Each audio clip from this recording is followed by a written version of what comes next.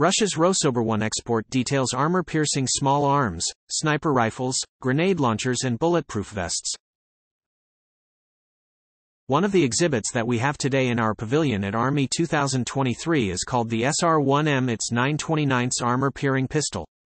It can tear through 1.4 mm armor plate or 30 layers of Kevlar at a distance is up to 50 meters. A slightly larger weapon for the same task is the SR-1M as SR-2F, which is a submachine gun with the same 929 mm caliber. It's a special caliber which will pierce 4 mm armor plate at the distances of 200 meters. It can be equipped with a 22 to 30 magazine on 921st round. It has a foldable shoulder stock and a tactical grip. At the Kalashnikov firing range, you can get acquainted to the PPK-20, 919 mm submachine gun, which is a totally modern development for special forces use.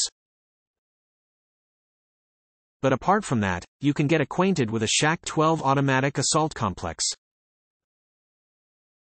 What's so special about the Shak-12? From the name, you can understand that it has a caliber of 12.7 by 55 mm, which means a large caliber bullet to be shot at the distances of 100 to 300 meters with extreme power due to pop-up action braid.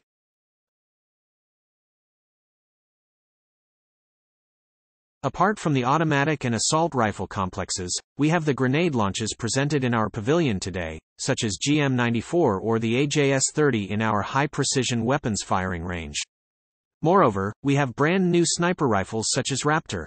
But any sniper rifle, any long-range shooting needs a special tactical optical device to guide the shot to its target. We produce target designators, night vision scopes, night vision goggles, thermal vision optics and many others.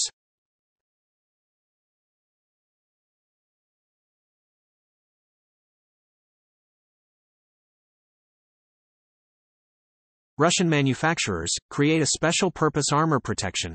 What's so special about our armor? We have a special standard which is not equal to the Western ones.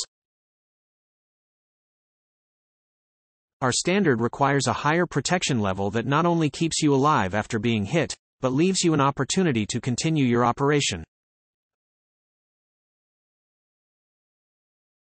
Thank you for watching DefenseMirror.com. Subscribe the channel and share the video.